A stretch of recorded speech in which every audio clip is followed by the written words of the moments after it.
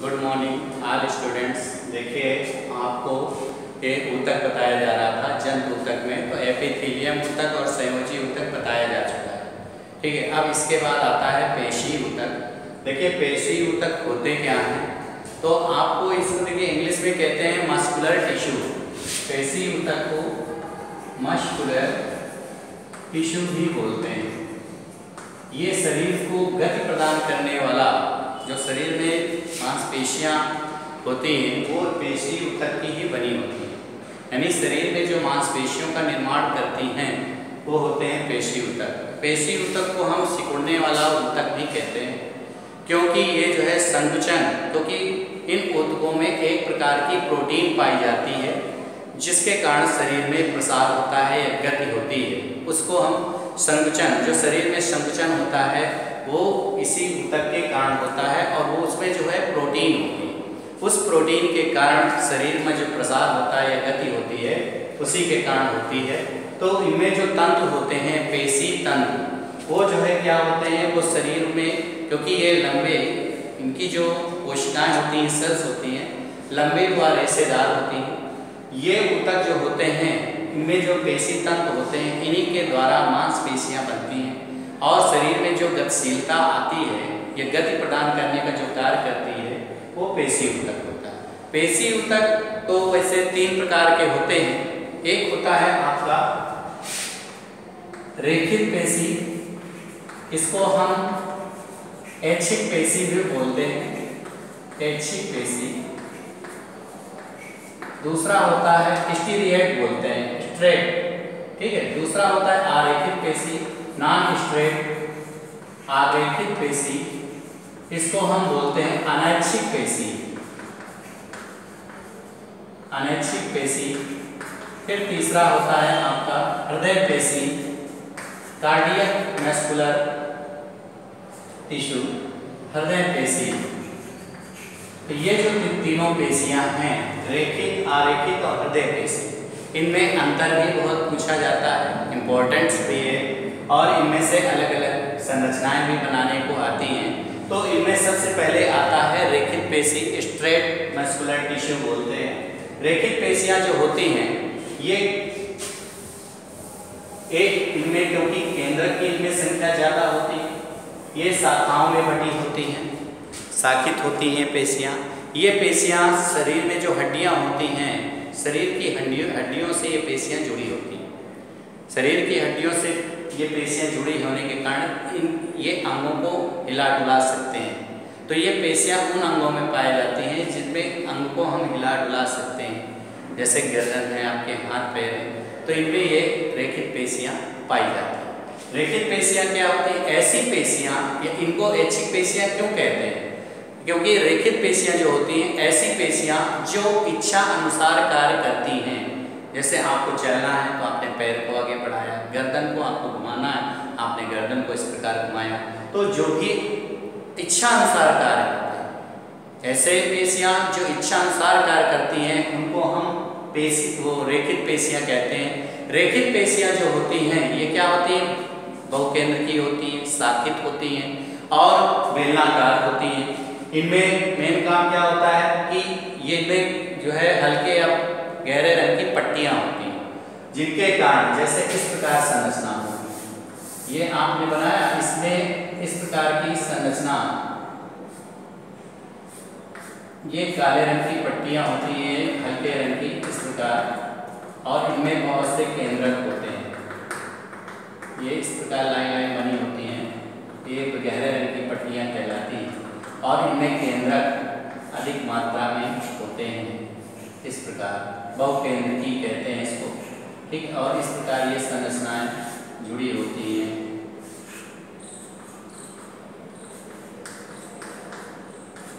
ये आपकी रेखित पेशियाँ हैं, जो इच्छा अनुसार कार्य करती हैं। ठीक है, ये हिलने डुलने वाले अंगों में पाई जाती हैं। इसके बाद आता है नॉन स्ट्रेट, यानी आरेखित पेशी या अनैच्छिक पेशी। अनैच्छिक पेशी, ऐसी पेशियाँ जो बिना इच्छा के निरंतर कार्य करती रहती हैं, ठीक है? और उनमें इच्छा की आवश्यकता नहीं होती, जैसे कि शरीर के आंतरांगों में, शरीर के जो अंदर अंग हैं, जैसे कि आपके अंदर आहार नाल है यूनरी ट्यूब है, ठीक है? ब्लड वेसल्स है, रक्त नलिकाएँ हैं तो ये जितने भी शरीर के अंदर कोशिकांग हैं, जो पार्ट्स हैं, वो सब क्या है? अनैच्छिक, क्योंकि ये बिना इच्छा के कार्य करती हैं। अनैच्छिक पेशियाँ होती हैं। ये पेशियों में क्या होता है? क्योंकि दोनों सिरे, ये लंबी होती हैं और दोनों सिरे नुकीले होते हैं। उनकी संरचनाएँ किस प्रकार बनी होती हैं? और इनमें जो है गहरे रंग की पट्टियाँ नहीं होती। बीच में एक केंद्रक होता है। और बाकी इनमें ये रेसे होते हैं मसल्स के, पेशी तंतु बोलते हैं। ये होती हैं आपकी आरेखित पेशियाँ, जो शरीर के कोशिकाओं में पाई जाती हैं, शरीर के अंदर आंतरिक भागों में। जैसे आहार नाल है, मूत्राशय है, इनमें ये आरेखित पेशियाँ, अनैच्छिक पेशियाँ पाई जाती हैं। इसके बाद एक और है हृदय पेशी। हृदय पेशी की आपकी संरचना इस प्रकार होती है ये दो पार्ट्स में इस प्रकार बटी होती है। तो इसमें इस प्रकार जुड़ी हुई होती है ये पेशियाँ। ये से ये पार्ट्स यहाँ जुड़ा होगा, ये जुड़ा होगा, ये जुड़ा होगा। फिर यहाँ पर धारियाँ नहीं पाई जाती। ठीक है, इनमें क्या है? केंद्रक होते हैं। बीच बीच में केंद्रक होंगे। बहु केंद्र की ये भी संरचना होती है। ये हृदय में पाई जाने वाली पेशियाँ। इनमें भी जो है तंतु होते हैं और ये निरंतर कार्य करती हैं इस प्रकार। तो हृदय में पाई जाने वाली पेशी को हृदय पेशी कहते हैं, ये बिना थके निरंतर कार्य करती रहती हैं। तो हृदय में पाई जाने वाली पेशियाँ कार्डियक मैस्कुलर टिश्यू या हृदय पेशी कहलाती हैं और शरीर के आंतरांगों में कुछ अंग हैं, उनमें पाई जाने वाली पेशियाँ अनैच्छिक पेशियाँ या आरेखित पेशियाँ होती हैं। शरीर में हिलने डुलने वाले अंग जैसे हाथ, पैर है गर्दन है। इनमें जो पेशियाँ पाई जाती हैं ऐच्छिक पेशियाँ होती हैं या रेखित पेशियाँ होती। हैं इस प्रकार ये रेखित पेशियाँ जो है, आपकी जो पेशी उतक है, तीन प्रकार का होता है। एक रेखित पेशी, एक अरेखित पेशी और एक हृदय पेशी। इसके बाद देखिए, आपके पेशी उतक में, क्योंकि ये शरीर का गति प्रदान करने वाला ऊतक होता है। तो इसका मेन काम यही होता है कि मांसपेशियों का निर्माण करता है और शरीर को गतिशीलता प्रदान करता है। शरीर में वृद्धि और प्रसार में सहयोग करता है। इसके बाद आता है यहाँ पर तंत्रिका, तंत्र या तंत्रिका ऊतक। तो जो तंत्रिका तंत्र होता है नर्वस टिश्यू तंत्रिका ऊतक, जो तंत्रिका तंत्र होता है, ये तंत्रिका ऊतक का बना होता है। ये जो है शरीर की सबसे बड़ी जो तंत्रिका ऊतक होता है, ये विशेष प्रकार की कोशिकाओं से मिलकर बना होता है, जिसे तंत्रिका कोशिका या न्यूरॉन बोलते हैं। ठीक है? तो जो न्यूरॉन होता है, ये तंत्रिका कोशिका को हम शार्ट्स में न्यूरॉन्स बोलते हैं, और ये हमारे शरीर पर पूरे में फैली होती है। क्योंकि जितनी भी संवेदनाएँ हम प्राप्त करते हैं, इसी न्यूरॉन से या तंत्रिका कोशिकाओं से प्राप्त करते हैं।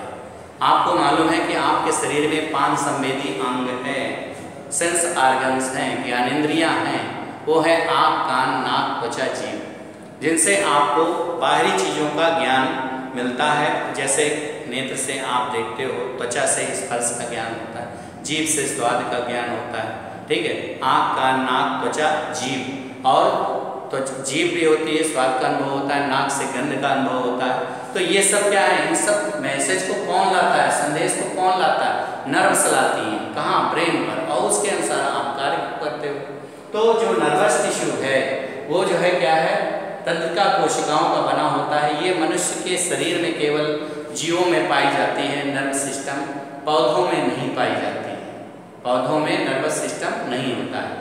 नर्वस सिस्टम जो होता है, वो केवल जंतुओं में हो जाता है। पर जंतु, मनुष्य में, मनुष्य की या जीवों की सबसे लंबी कोशिका, देखिए सबसे छोटी कोशिका क्या होती है? Mycoplasma, PPLO pleuropneumonia like organism.